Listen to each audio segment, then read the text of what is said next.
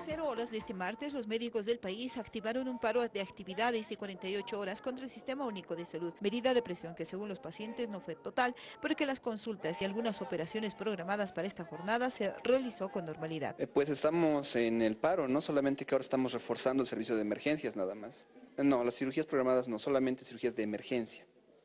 Sí, es lo que nunca se puede parar, la emergencia y el servicio quedó limitado a la atención de emergencias, aunque en algunos centros hospitalarios como en Cochabamba la atención era normal al inicio de la jornada. En La Paz, el Hospital de Clínicas, que habitualmente colapsa por la alta demanda de pacientes, también tuvo una atención con normalidad en ese establecimiento. El servicio de pacientes se realizó con normalidad, como en el Hospital de Niño, donde se atendió a pacientes programados y por emergencia. Sí, señor pues van a atender normal, hoy día se va a operar mi hermano también normal, se va a atender, no, sabría decirle si había paro, todo eso.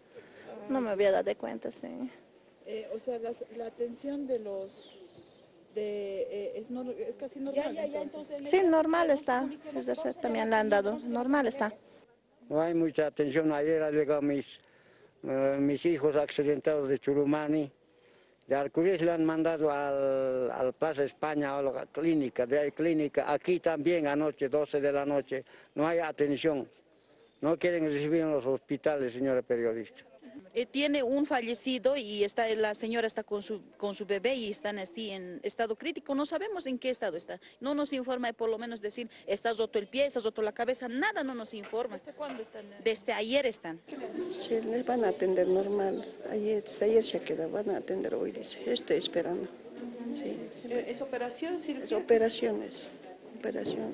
El Ministerio de Salud condenó la medida de presión, denunció que afectará alrededor de 10.000 pacientes y que se quedarían 500 cirugías suspendidas, tomando en cuenta que cada día se programan alrededor de 20.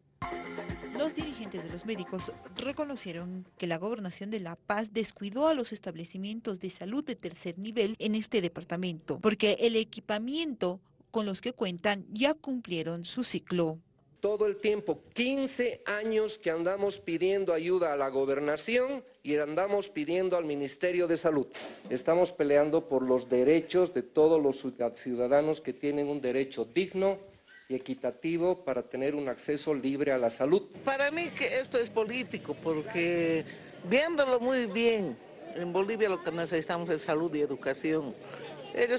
para mí los médicos trafican con la salud de los pacientes no quieren soltar la mamadera, ellos que hasta viejos siguen trabajando sin dejar cabida a los jóvenes que son, que ellos están al día con la ciencia, hasta su tercera cuarta generación ellos quieren seguir ocupando.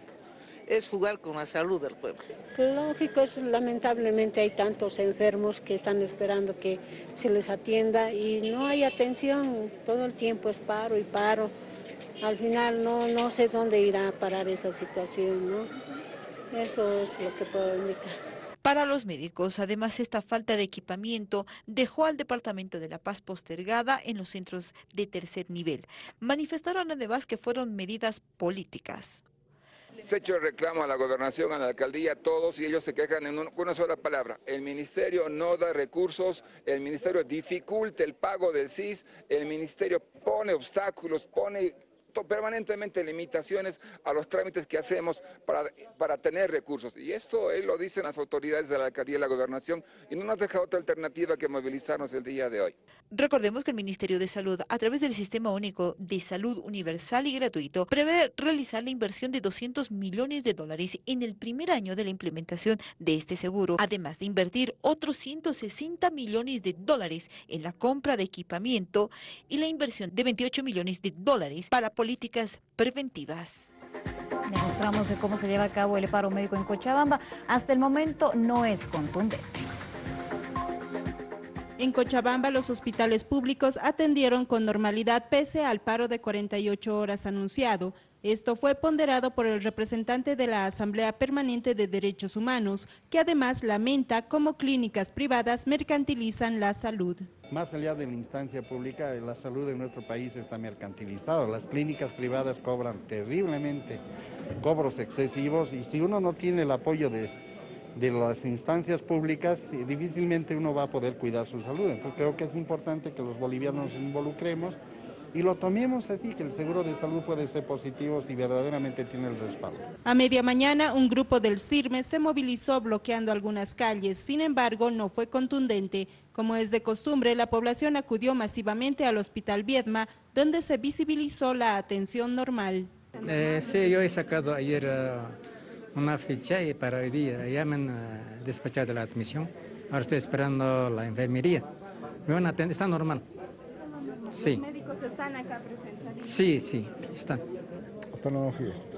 ¿Y qué le han dicho los médicos? Que esperen nomás. Se tenía entendido de que hoy día era... Normalidad. Pero no, con normalidad está.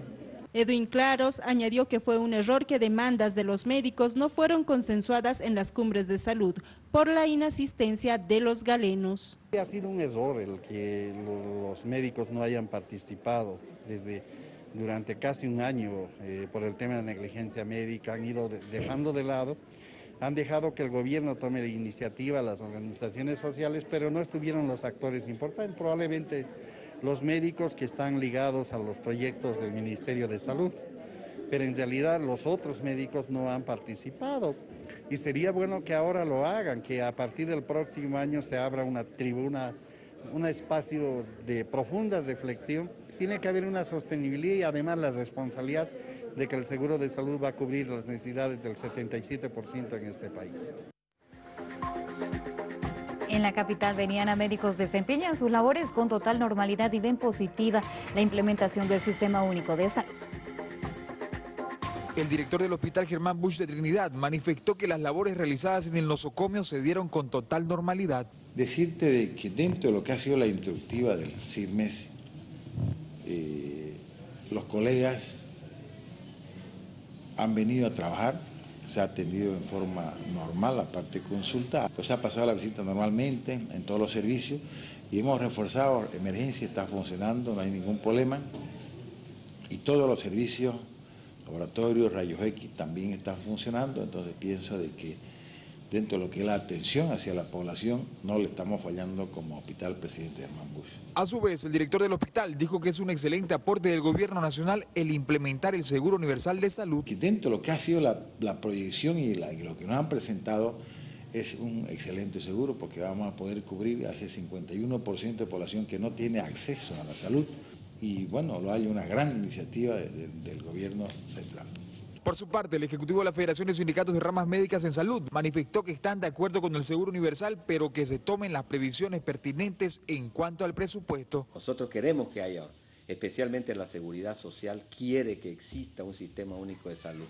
Es decir, que se tomen las competencias, la Seguridad Social con sus asegurados a corto y, a, eh, mediano plazo y los que no son asegurados que entren al sistema único de salud, pero que entren con todas las competencias con las 600 prestaciones, pero que alcance el presupuesto.